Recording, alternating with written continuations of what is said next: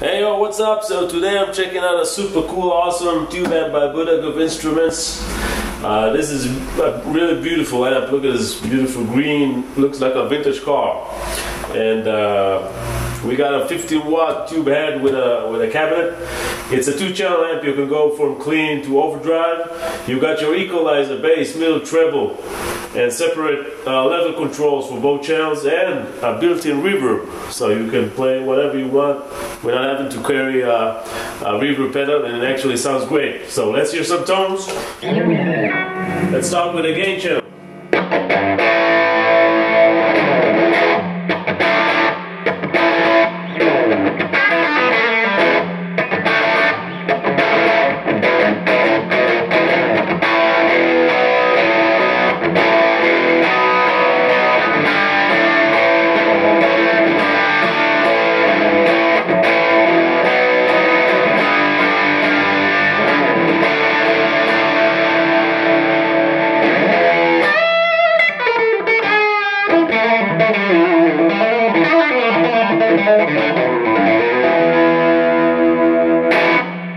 Let's switch over to the clean tones.